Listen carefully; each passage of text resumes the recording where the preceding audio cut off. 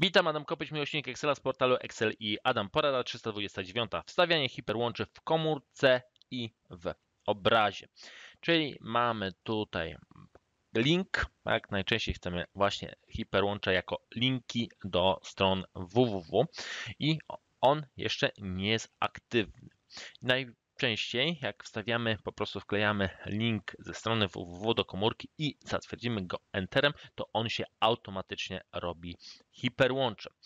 Ale no właśnie przy naszym wstawianiu hiperłącza linku, to no, nie zawsze chcemy, żeby on faktycznie prezentował się tak, jak on tu brzmi, no, tak jak on jest w całości. Nie chcemy pewnych informacji pokazywać nieświadomemu użytkownikowi, więc możemy sobie tutaj w karcie wstawianie hiperłącze, tak link, edytować. Jak sobie jeszcze raz klikniemy tutaj na komórkę, która jest no, ma już hiperłącze, no to będziemy edytować. Albo nauczymy się skrótu klawiszowego Ctrl Alt H. No i wtedy edytujemy. I co jest najważniejsze, że tu na dole to jest link, który faktycznie adres, który działa, a u góry jest to, co się pokazuje.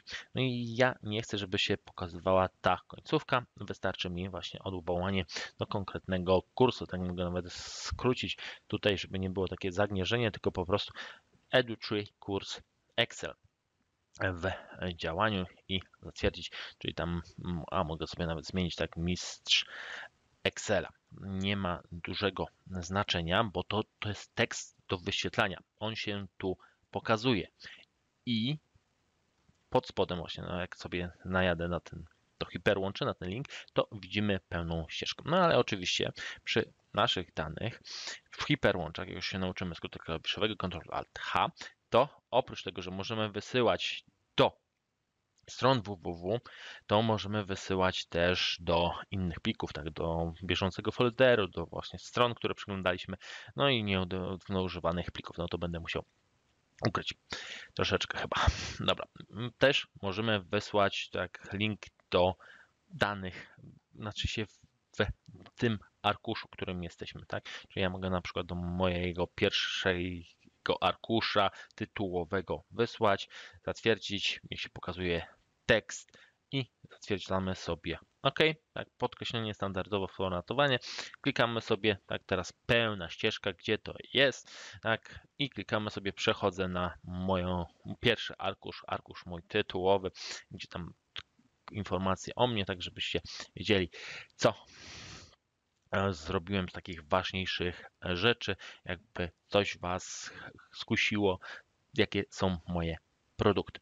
Ok, wracając do hiperłączy, no Ctrl Alt H możemy sobie edytować, tak możemy nawet utworzyć nowy dokument, czy wysłać mail. Tak wystarczy napisać adam małpa excel i adam.pl wpisać temat, tak i możemy też tutaj, a tak tylko wtedy to by raczej wyślij mail, tak żeby nasz tekst do wyświetlenia miał sens w kontekście tego hiperłącza, co się tam znajduje. No i temat po prostu test. Zatwierdzamy sobie OK.